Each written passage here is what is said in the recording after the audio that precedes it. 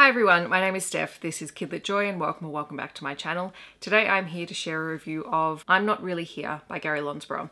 This is a new release Australian Indigenous young adult title.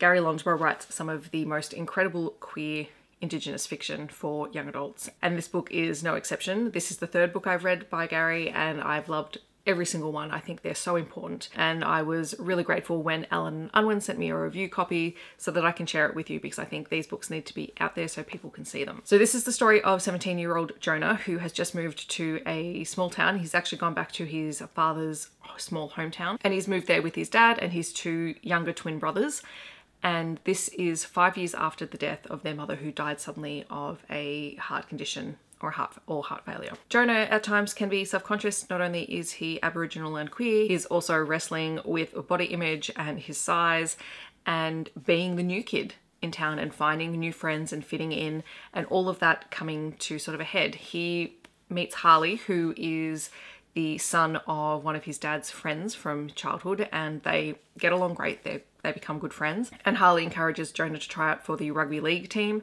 and so he does and that becomes part of the way that he begins to settle into the town and he also makes friends with another group of kids who are just a little bit different and being 17 being in high school Jonah and his friends all face the horrors of high school, let's face it, and trying to fit in and maybe not being the most popular kids in school. The book does deal with racism and homophobia and also the shaming of teenage girls as well and there are always people who are there to stand up to the people who are being bullies and I, I, deeply appreciated that in the story. Even if the main characters feel like they can't stand up to it, there are other people around them who are very comfortable or who are ready to defend their friends. And I think having that in the story is really important because sometimes in the moment you don't feel like you can stand up and you can't defend yourself or you can't defend others, but to see that there are other people there that gives you more confidence. And I think that's what Jonah sees throughout the book. It's very much about family and friends and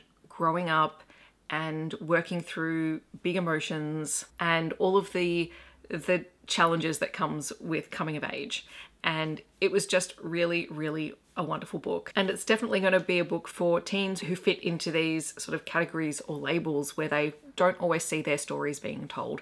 And I know from reading some of the notes and things that were sent as part of the review kit, the author wanted a book that he could have had as a teen growing up. And I think it's so important that we have these stories out there now. That with the fact that we have really high quality ones is just amazing. So thank you again to the publisher for sending me the review title. I will leave links to where you can find out more information about the book and the author down below. In the comments below, I would love to know what is your current favorite young adult title that is out there. I don't tend to read widely in young adult anymore, but I do try and prioritize Australian titles and in particular Australian Indigenous titles just so that they are being shared and people can hear about them a lot more. Any young adult title that you're reading, I would love to hear about it down below. If you'd like to let me know that you're here but you don't leave a comment, feel free to leave any kind of football emoji down below. Otherwise, I hope that wherever you're on the world, you're staying safe and healthy and I'll see you in my next video. Thanks so much for watching. Bye everyone.